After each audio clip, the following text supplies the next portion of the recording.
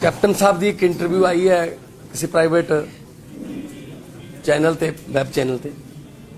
ਉਹਦੇ 'ਚ ਉਹਨਾਂ ਨੇ ਕਿਹਾ ਕਿ ਮੈਨੂੰ ਪਾਕਿਸਤਾਨ 'ਚੋਂ ਫੋਨ ਆਉਂਦੇ ਸੀ ਕਿ ਸਿੱਧੂ ਸਾਹਿਬ ਨੂੰ ਕੈਬਨਿਟ ਦੇ ਵਿੱਚ ਰੱਖਿਆ ਜਾਵੇ।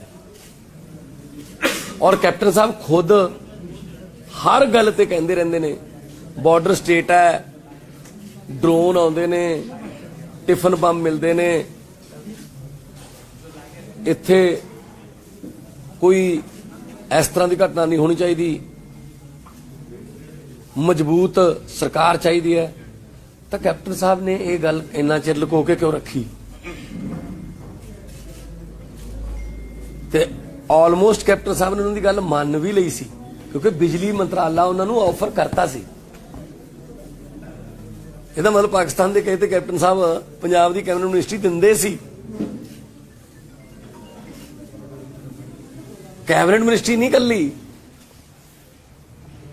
ਕੈਪਟਨ ਸਾਹਿਬ ਸ਼ਾਇਦ ਇਹ ਕਹਿਣਾ ਭੁੱਲ ਗਏ। ਡੀਜੀਪੀ ਵੀ ਪਾਕਿਸਤਾਨ ਦੇ ਕਹੇ ਤੇ ਲਾਇਆ ਸੀ।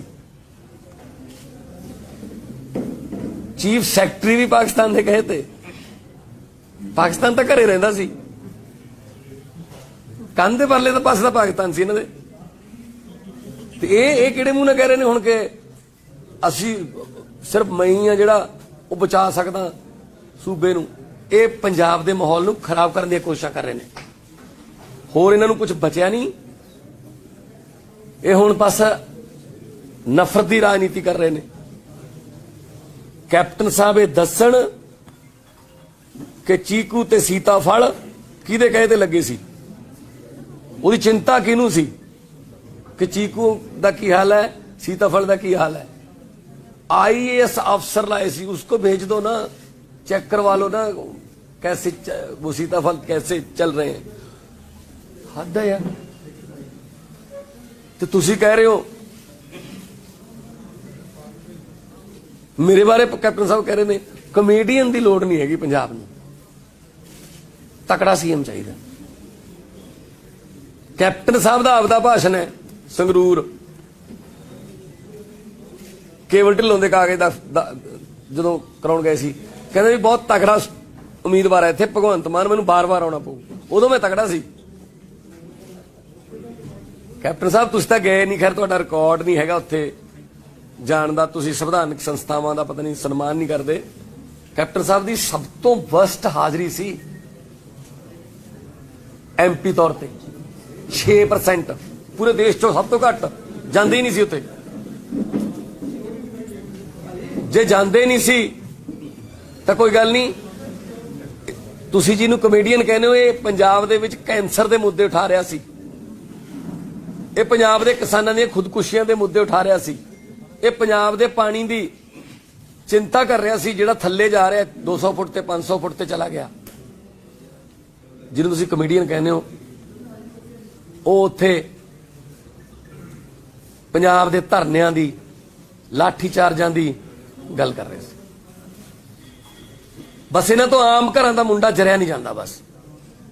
ਕਿ ਅਸੀਂ ਵੀ ਬਣਦੇ ਹੁੰਨੇ ਆ, ਹੋਰ ਕਿਉਂ ਆ ਗਿਆ? ਕੈਪਟਨ ਸਾਹਿਬ ਪਬਲਿਕ ਹੈ, ਲੋਕ ਹੈ। ਤੁਸੀਂ ਲੋਕਾਂ ਨਾਲ ਜੋ ਧੋਖਾ ਕੀਤਾ ਹੈ, ਉਹਦਾ ਤੁਹਾਨੂੰ ਫਲ ਜ਼ਰੂਰ ਮਿਲੂਗਾ। ਮਿਲ ਵੀ ਰਿਹਾ ਸਾਢੇ 4 ਸਾਲ ਤੁਸੀਂ ਬੈਠੇ ਰਹੇ। ਹੁਣ ਤੁਸੀਂ ਕਹਿੰਦੇ ਹੋ, ਹੈਲੀਕਾਪਟਰ ਤੇ ਜਦੋਂ ਮੈਂ ਜਾ ਰਿਹਾ ਸੀ, ਮੈਂ ਥੱਲੇ ਟਰੱਕ ਦੇਖੇ, ਜਦੋਂ ਮੈਂ ਉਤਰਿਆ ਫਿਰ ਮੈਂ ਕਿਹਾ ਅਫਸਰਾਂ ਨੇ ਇਹ ਕਿਹਦੇ ਨੇ? ਕਹਿੰਦੇ ਉਹ ਚੰਨੀ ਦਾ ਨਾਂ ਸੀ।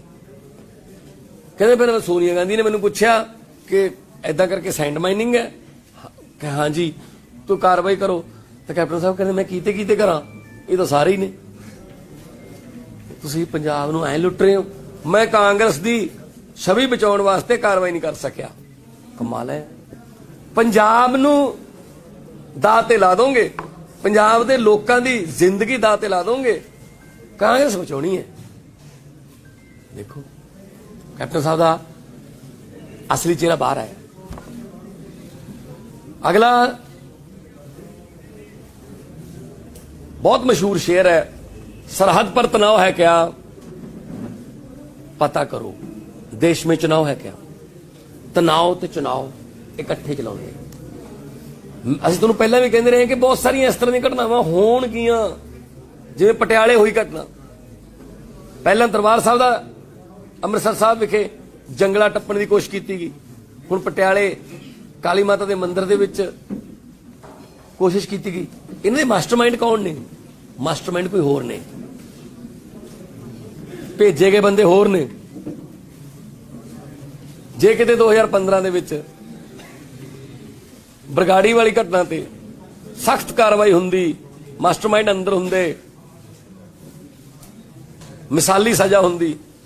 ਫਿਰ ਇਹ ਜਿਹੀਆਂ ਦੀ ਹਿੰਮਤ ਨਹੀਂ ਪੈਣੀ ਸੀ ਕਿਤੇ ਕਿ ਉਹ ਦੁਬਾਰਾ ਕੋਈ ਕਿਸੇ ਵੀ ਧਾਰਮਿਕ ਗ੍ਰੰਥ ਦੀ ਬੇਅਦਬੀ ਕਰਦੇ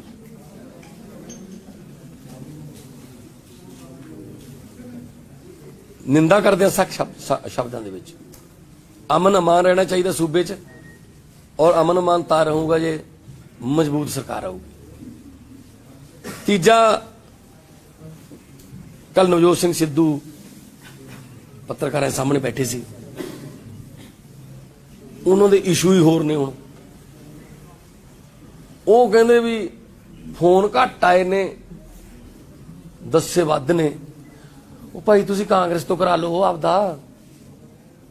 ਤੁਸੀਂ ਆਪਣਾ ਕਰਾ ਲਓ ਸਰਵੇ।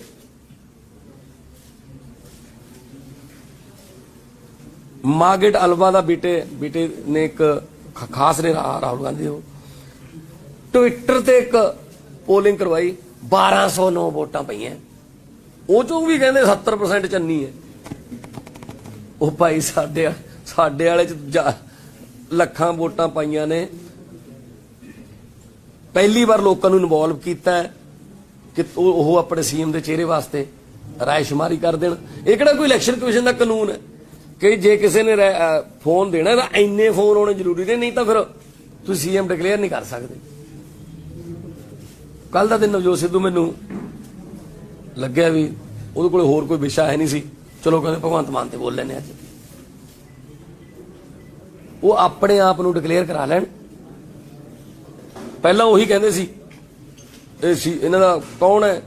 ਔਰ ਜਿਸ ਤਰ੍ਹਾਂ ਦੀ ਲੈਂਗੁਏਜ ਵਰਤੀ ਜਾ ਰਹੀ ਹੈ ਨਾ। ਓਏ ਓ ਫਲਾਨਿਆ ਓਏ, ਤੂੰ ਪੱਤਰਕਾਰਾਂ ਨੂੰ ਵੀ ਤੂੰ ਤੂੰ ਕਰੇਗਾ? ਤੂੰ ਕਰੇਗਾ? ਕਮ ਔਨ ਸਾਰੇ ਰਿਸਪੈਕਟ ਭਾਲਦੇ ਆ। ਇੱਜ਼ਤ ਕਰਾਉਣੀ ਹੈ ਤਾਂ ਇੱਜ਼ਤ ਕਰਨੀ ਸਿੱਖੋ।